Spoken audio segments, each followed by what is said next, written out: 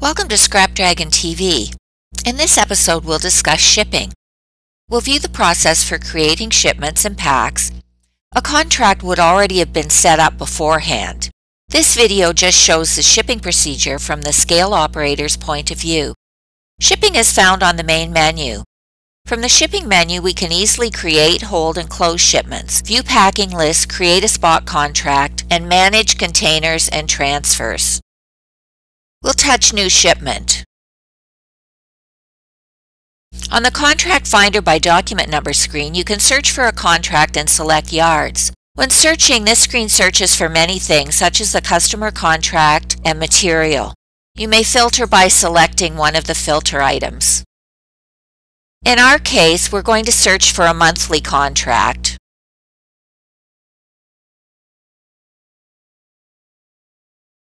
Then I can choose the contract I want if more than one displays. Copper for October is already selected. We'll add a shipment.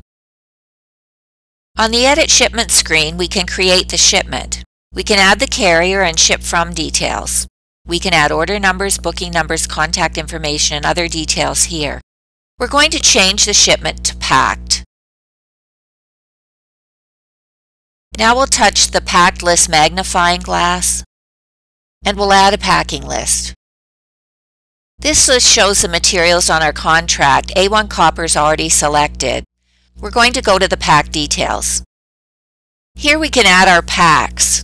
The fastest way to add packs is to simply scan them. However, we're going to enter the pack numbers.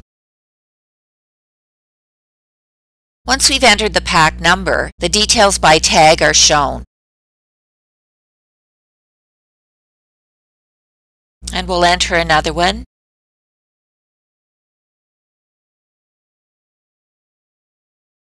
Notice we've added three packs.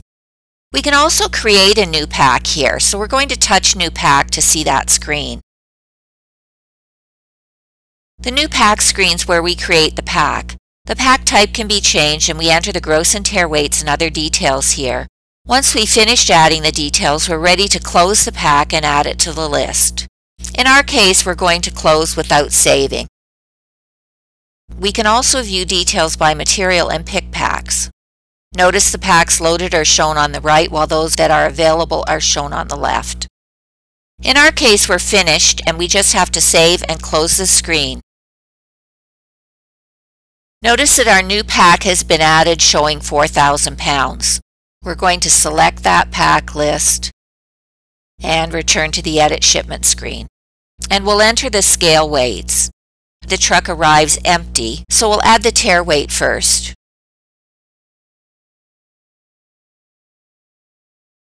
The truck is now loaded up with the pack, so we'll add the gross weight.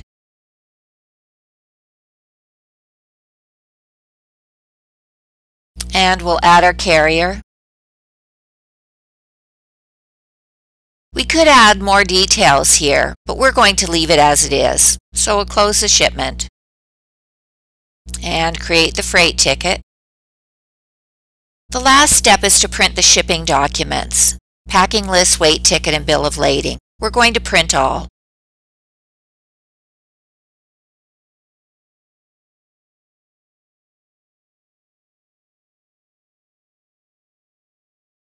And we're done.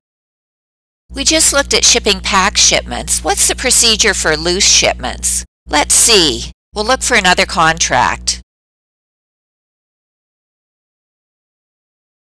We're going to select autos for November and add a shipment. We'll select the material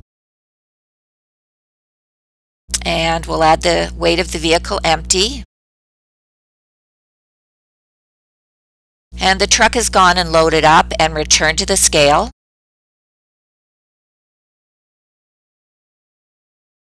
And we'll add the carrier. And we're ready to close the shipment.